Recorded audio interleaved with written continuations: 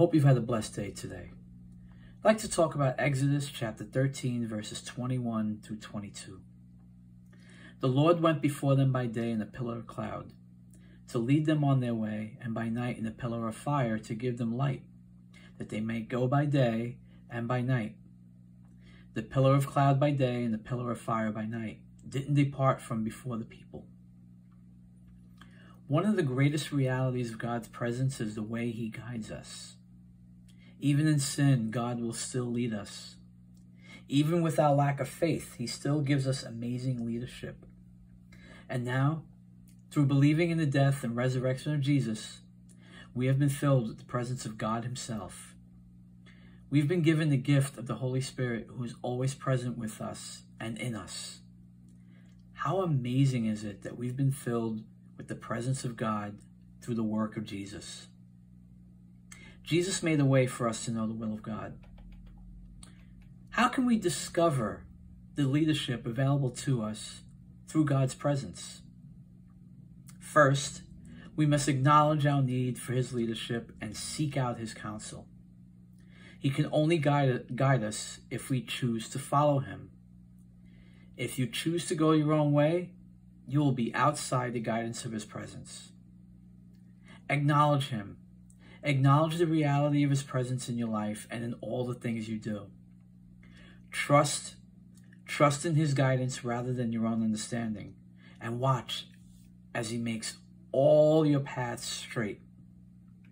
Second, you have to believe that God will guide you when you ask for his leadership. Isaiah verse chapter 58 verse 11 says, "And the Lord will guide you continually and satisfy your desire in scorched places and make your bones strong, and you shall be like a watered garden, like a spring of water whose waters do not fail." This world is suffering. It's suffering from a lack of God's guidance. We live in a world always searching and striving for some sort of message of leadership. All around us, the blind lead the blind into greater darkness, always searching for what we have already found in God. God will guide you when you seek Him for wisdom. He will lead you to the perfect will He has for you but you have to humble yourself before Him and commit to following Him. All you have to do is ask and follow the Holy Spirit's guidance. He will make His leadership clear if you stay behind Him and listen. Last, you must follow His leadership to experience the fruit of His guiding presence. The contents of a gift remain useless unless it's opened. You have been given the most incredible gift of all God's guiding presence in your life. But until you choose to follow the wisdom of God in your life, you can't experience an ounce of its value.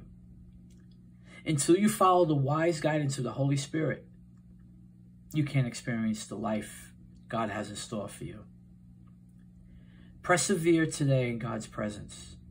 Seek out his wisdom and his counsel Lay the burden of leading your own life on His shoulders and allow the Holy Spirit to guide you into the life God has prepared for you. God bless you all.